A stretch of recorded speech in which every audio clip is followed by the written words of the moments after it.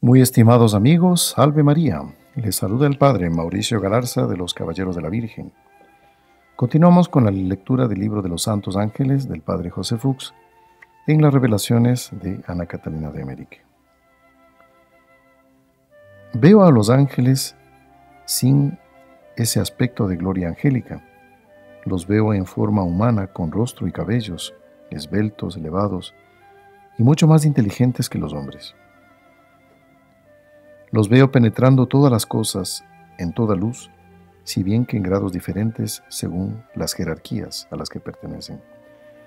A los bienaventurados los veo iluminados con luz corporal más blanca que brillante, y veo una esfera de luz de colores varios, una gloria o resplandor que los envuelve, cuyo color está en relación con el grado y el género de su purificación.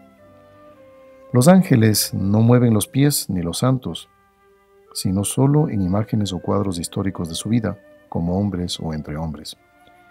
Veo también que estas apariciones en estado perfecto nunca hablan entre sí con los labios, pero unos se dirigen a otros, se compenetran e íntimamente se conocen entre sí.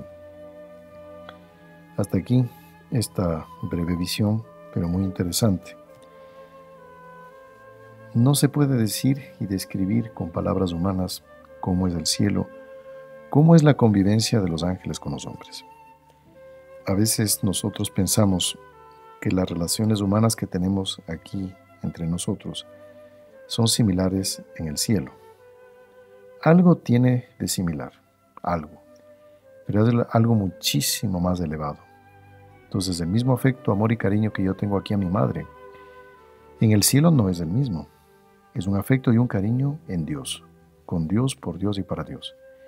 Es una forma de relacionarse muy distinta, pero a la vez algo tiene de semejante en las mejores relaciones humanas.